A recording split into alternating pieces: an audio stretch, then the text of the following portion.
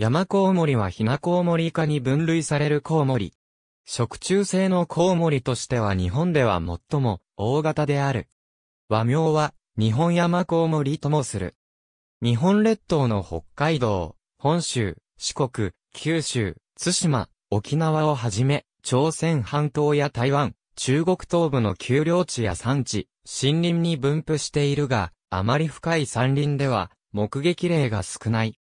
日本国内に生息しているヒナコウモリ科の中では、最も大型の部類に入り、前足を広げた時の長さは 58mm から 65mm、東道長は 89mm から 113mm、お長は 51mm から 67mm ほどになる。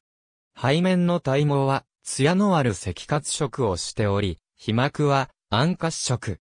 翼を広げると 40cm を超えることもある。翼の形は細長く、長距離を飛ぶことができる。体重は 26g から 61g になる。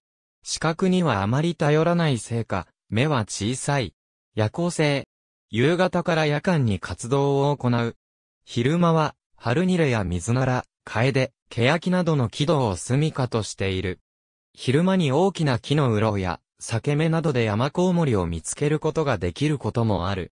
特に神社などの樹齢の長い大木に潜んでいることが多い。他のコウモリ類と同様に超音波を出すが、周波数が他のコウモリ類より低く、人間の過聴音域にあるため、人によってはその音を聞くことができる。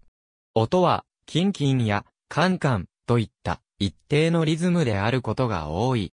火が沈み始めると住処を出て、祭事を行う。捕らえるのは主に飛翔するガや、カゲロウなどの昆虫類で、1日に体重の約半分の量を捕食する。昆虫類が少なくなる冬の間は冬眠する。冬眠時は、軌道で大きな集団を形成する。コウモリでは珍しく、一度の出産で西を産むことが多い。秋に交尾するが、冬眠後の春に排卵、受精し、初夏に出産すると考えられている。出産と子育ては、メスの作る集団で行われる。この時オスは、少数の群れに分散し、子育てには参加しない。住処となる軌道が、森林伐採などで減少し、個体数は大きく減少傾向にある。夜間照明の増加の影響も危惧されており、日本の発見報告も減少しつつある。山コウモリの減少を食い止めるため、原生林の保全や、樹齢の高い大木の保護などが求められている。ありがとうございます。